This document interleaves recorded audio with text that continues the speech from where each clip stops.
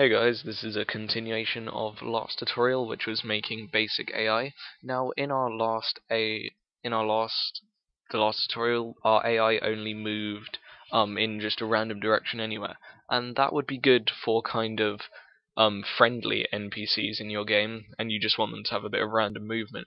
But what about for enemies who are like who are looking to seek out your character and they want to uh, collide with your character to hurt them. So we're going to do that now. You can grab the source code off the Java Hub forums. It will be link in the description. And the first thing that you'll notice is that these two classes are exactly the same, except I've removed the choose a random direction method and I've removed out of the run method as well. But everything else other than that is the same. Um, so let's just get started because I want to keep this within uh, I don't want to split this into two. So the first thing we need to do is make another rectangle in our AI class, and that rectangle is going to be target. So we will call it target rather appropriately.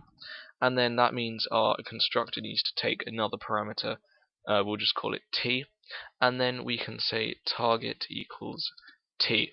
And this means in our main method over here, we have, I changed this name to enemy by the way, it used to be called object. So now we can have an enemy, and enemy's target is the player, if I can spell player right, which is this here. And let me just show you quickly. Um, as you can see, I have this animation of the Zelda Octorok, and then I have this red cube, which is my player. So now in our AI class, we're going to get started on our programming. So we need to just make one method called, well, we'll name it in a second, but it's basically just going to decide whether it needs to move up, down, left, or right, depending on the characters, where the character is. And this may sound complicated, but it's far simpler than you probably think. So public void will um, and we're going to call this find path to target. And this is going to find a smart path to our target. So it's really simple to do this. We just need to make four if statements. And we need to say if ai dot x if the x of the AI is less than the x of the target, so target dot x we want to set the x direction to. So if the x of the AI is less than, in the case of x, it means the AI would be over here and the character would be over here. So we need to add to the x-axis. So we change this to, we make it 1.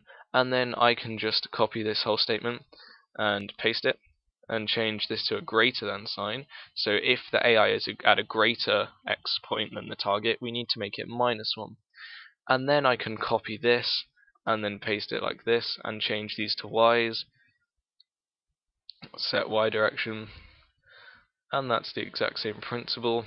Y y y and then that is pretty much it. And now we need to just call our find path to target in our run method and we'll do that above the move. Find path to target. And then I am going to make this run for a little longer. I want to make it run for one and a half seconds so I'll do 3 times 500 and then if I run this now we can immediately see our Octorok is finding a path to our player and then it's waiting. So if I leave it still, it's going to try and move to our player and I can move it away. But it will all when whenever the Octorok is moving, whenever it's not resting, it's always trying to find a path to our player.